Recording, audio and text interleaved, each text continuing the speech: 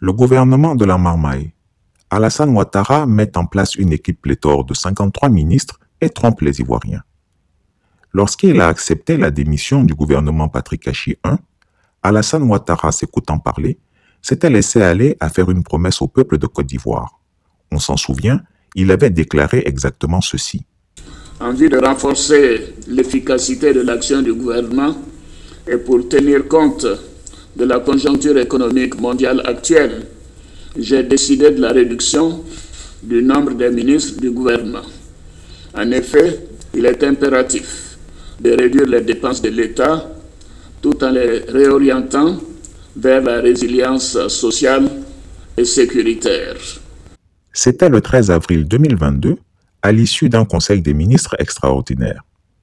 Le gouvernement sortant, faut-il le rappeler, était composé de 37 ministres et de 4 secrétaires d'État, soit 41 ministres auxquels il faut ajouter le Premier ministre. Ce gouvernement de plus de 41 membres, pléthorique, laxiste, abusif et dont certains portefeuilles prêtaient à sourire, était déjà la risée des Ivoiriens. En effet, avant l'arrivée d'Alassane Ouattara, le supermenteur au pouvoir, aucun chef d'État avant lui n'avait osé mettre en place une équipe gouvernementale de plus de 41 membres. Alors, quand lui, l'expert venu du FMI, spécialiste en coupe budgétaire, expert en réduction des dépenses non essentielles et maître en optimisation des dépenses publiques après les commandes de l'État, on était en droit de penser qu'il viendrait optimiser la dépense publique et doper l'efficacité gouvernementale. On s'était même prêt à rêver qu'il effacerait notre dette extérieure, développerait notre économie en refondant totalement sa structure. L'homme nommé en 1989 par le président Félix Houphouët-Boigny, sous la contrainte des bailleurs de fonds, avait montré sa capacité à travailler avec une équipe restreinte dans un contexte économique difficile. En ce temps-là, on disait de lui qu'il était un bon gestionnaire, qu'il faisait la chasse au gaspillage, etc. Bien évidemment, on s'apercevra plus tard qu'il n'était rien d'autre qu'une marionnette du FMI pour déstructurer les économies des pays pauvres via une batterie de mesures antisociales dans le cadre de plans d'ajustement structurel qui ont fait tant de mal à nos pays. On se rappelle encore comment, avec un plaisir non dissimulé, il a privatisé les fleurons et les joyaux de notre économie nationale en bradant certaines entreprises publiques clés à ses amis capitalistes français, limogé à tour de bras les fonctionnaires, fixé l'âge de départ à la retraite à 50 ans, diminué de moitié les salaires des nouveaux enseignants, supprimé les bourses des élèves et étudiants, fermé tous les internats, y compris ceux abritant les enfants issus des milieux défavorisés, supprimé les quarts de ramassage scolaire, rendu les prestations payantes dans les dispensaires publics, instauré la carte de séjour qui a accéléré l'ivoirité, désarmé les forces de défense nationale en mettant fin au recrutement et en arrêtant tout investissement dans le secteur défense-sécurité, désinvesti massivement dans l'agriculture par l'arrêt des subventions des intrants agricoles aux paysans, etc. Bref, il avait réussi à fragiliser les pauvres au nom de l'impératif de chasse au gaspillage financier sans renflouer véritablement les caisses de l'État. Euh, donc il faut reprendre euh, la gestion économique. Euh, Ce n'est pas un travail facile parce que ça demande des décisions difficiles. Il faut dans ces décisions prendre soin de protéger les plus défavorisés. ceux qui ont très peu. Mais aujourd'hui, on apprend, et tout le monde le sait, qu'il y a beaucoup de familles qui mangent qu'une ou deux fois par jour. Ce n'était pas cela la Côte d'Ivoire il y a 20 ans. Alors, beaucoup d'Ivoiriens se plaignent au niveau de la santé. Ils n'ont pas 5 000 francs pour acheter des médicaments. Aujourd'hui, face au peuple de Côte d'Ivoire, Alassane Ouattara a prétendu qu'il procéderait à la chasse au gaspillage en réduisant la taille du gouvernement. Rien n'était plus faux.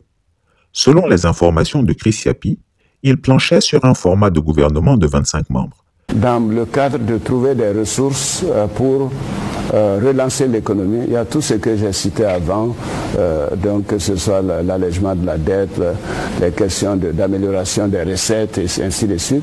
Mais il y a également la réduction du train de vie de l'État. Parce que c'est ce que j'avais fait en 90. Pourquoi en 90 les salaires n'ont pas été coupés en Côte d'Ivoire? Les salaires des fonctionnaires, alors que ça a été coupé au Cameroun, au Sénégal, un peu partout. C'est parce que j'avais réduit le train de vie de l'État. Et il faut réduire le train de vie de l'État. Et à partir de là, on dégage des ressources qui permettront de construire des universités, qui permettront de construire des écoles, etc. Mais finalement, il en est arrivé à un format de 34 membres si on y ajoute le vice-président nouvellement nommé. À ces 34 membres du gouvernement HI2, il faut y ajouter les cinq ministres à la présidence dont les décrets de nomination n'ont pas été abrogés. Pour mémoire, il s'agit de messieurs Fidel Boroton Sarasoro, ministre, directeur de cabinet du président de la République. Gilbert Kafana Kone, ministre d'État à la présidence de la République, chargé des relations avec les institutions. Abdourahman Sissé, ministre, secrétaire général de la présidence de la République. Ibrahim Bakongo Sissé, ministre conseiller spécial chargé des affaires politiques. Ali Koulibaly, ministre conseiller spécial du président de la République. Cela nous fait donc 39 ministres. À cela, il faudrait rajouter les 14 ministres gouverneurs du district. Ils sont dotés de budget de fonctionnement, de budget d'investissement et ont des membres de cabinet entièrement pris en charge par les finances publiques. Au total, nous avons donc 53 ministres payés par le contribuable. Plusieurs parmi eux ne servent à rien puisque les chevauchements d'attributions sont multiples et les conflits de compétences sont nombreux. En somme, l'octogénaire supermenteur avait promis un gouvernement resserré, mais au contraire, il a encore fait exploser les compteurs en multipliant les postes inutiles, budgétivores, et en générant de hauts cadres oisifs dont la seule fonction sera d'aller chaque week-end sur le terrain pour dire aux ressortissants de leur village qu'Alassane Ouattara est beau, gentil, intelligent et qu'il a développé le Japon, la Chine, l'Inde et que sais-je encore. En toute rationalité, peut-on se permettre, dans un pays comme la Côte d'Ivoire, qui ploie sous le joug d'une dette de 20 000 milliards de francs CFA, d'avoir une équipe de 53 ministres pour gouverner le pays, alors que le taux de pauvreté urbaine est proche de 50%, le taux de pauvreté rurale frôle les 70%, les besoins en infrastructures sociales de base sont criants, l'armée a besoin d'être lourdement équipée pour faire face à la menace djihadiste qui se déploie à l'intérieur de nos frontières. Et ceci demandait d'abord, bien sûr, qu'on essaie d'améliorer la sécurité. Maintenant, c'est chose faite. Abidjan a le même degré de sécurité que Londres. Pour que les Ivoiriens mesurent l'ampleur de la calamité que représente la gouvernance du dictateur des lagunes, il faut qu'ils mettent en perspective le coût financier du fonctionnement des institutions républicaines sur la poche du contribuable. En plus d'avoir une équipe de 53 ministres, Alassane Ouattara a aussi mis en place un régime de plusieurs institutions. Les voici. Tout d'abord, la présidence de la République, la vice-présidence de la République, la primature, l'Assemblée nationale, le Sénat, le Conseil constitutionnel, la Cour de cassation, le Conseil d'État, la Cour suprême, la Cour des comptes, la médiature de la République, la grande chancellerie de l'ordre national, le Conseil économique, social, environnemental et culturel, la Commission électorale indépendante, la haute autorité de la bonne gouvernance, l'inspection générale d'État, la Chambre des rois et chefs traditionnels. Comment se porte l'économie ivoirienne? Écoutez, l'économie ivoirienne euh, malheureusement ne se porte pas bien. Euh, moi, je ne suis pas euh, très heureux ou très content de le dire. Hein. je pense que les, pas les chiffres, mais la réalité est là. les Ivoiriens le disent au quotidien, les Ivoiriens souffrent. à toute chose, il faut connaître les causes. pour moi, la cause, c'est le, peut-être le, fait que l'allocation des ressources n'a pas été bonne. Comme vous pouvez le constater, ce sont bel et bien 17 présidents d'institutions qui ont chacun leur budget de fonctionnement, leur fonds de souveraineté, leur personnel, leurs dotations et primes diverses qui sont supportés par le contribuable ivoirien. Ce contribuable, déjà étranglé comme on le sait par une dette de 20 000 milliards de francs CFA, et qui est pris dans la spirale d'une inflation galopante dont les effets sont démultipliés par la crise en Ukraine et son impact sur les produits pétroliers et certains produits alimentaires de base. Le prix du pain n'a-t-il pas été augmenté en Côte d'Ivoire? Le prix du carburant n'a-t-il pas été augmenté de 615 francs CFA à 635 francs CFA Les prix de la viande de bœuf, de l'huile alimentaire, du poisson thon, du cube magie, du sucre, du lait, du riz, de la tomate concentrée, des pâtes alimentaires, etc., n'ont-ils pas flambé? Et malheureusement, il y a une détérioration. Euh, je connais les souffrances des uns et des autres. Je sais que la plupart des prix ont doublé depuis 10 ans. Euh, que ce soit le riz, que ce soit l'huile, que ce soit euh, donc certaines denrées primaires, ainsi de suite. je voudrais leur dire que moi je suis d'abord un économiste et donc je vous demande de me faire confiance. Le programme que je prévois, c'est de résoudre le problème économique et social du pays.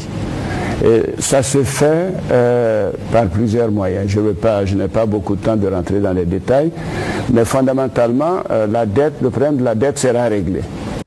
Les associations de consommateurs qui voulaient manifester n'ont-ils pas été menacées et dissuadées de mobiliser leurs adhérents?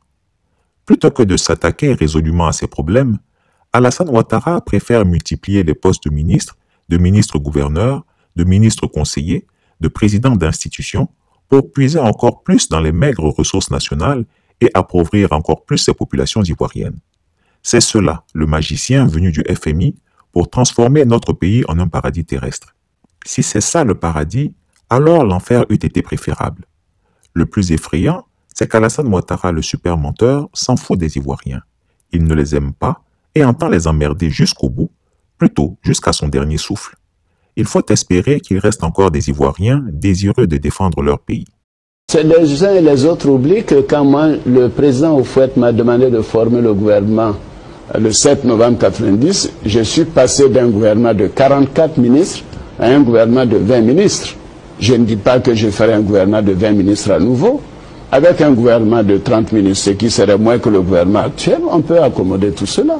On n'a pas, besoin, on pas besoin d'avoir un gouvernement de 100 ministres pour accommoder tout le monde. Il faut prendre les meilleurs, les meilleurs, les plus expérimentés, les plus compétents. Euh, si moi, euh, Laurent Babo, chef de l'État, m'appelait pour me dire il y a tel ministre de ton parti euh, sur lequel on a des preuves matérielles précises après enquête, euh, donc euh, dans une affaire de corruption, je te demande de le remplacer, je l'aurais fait. Parce que je ne tolère pas la corruption. Je ne veux pas qu'un de mes ministres soit en fonction, en train de piller les deniers de l'État. Ça, je trouve ça inacceptable. Parce qu'à force de couvrir ces gens-là, on va penser que c'est moi. Alors que je me considère un homme honnête. Et par conséquent, il fallait me le dire. Moi, je t'aurais dit, avec les preuves, écoutez, on se débarrasse de, de cette personne, on nomme d'autres. Chris Yapi ne ment pas. Retrouvez Chris Yapi sur son nouveau compte Twitter, ses deux chaînes YouTube, sa chaîne Dailymotion, Instagram et Mediapart.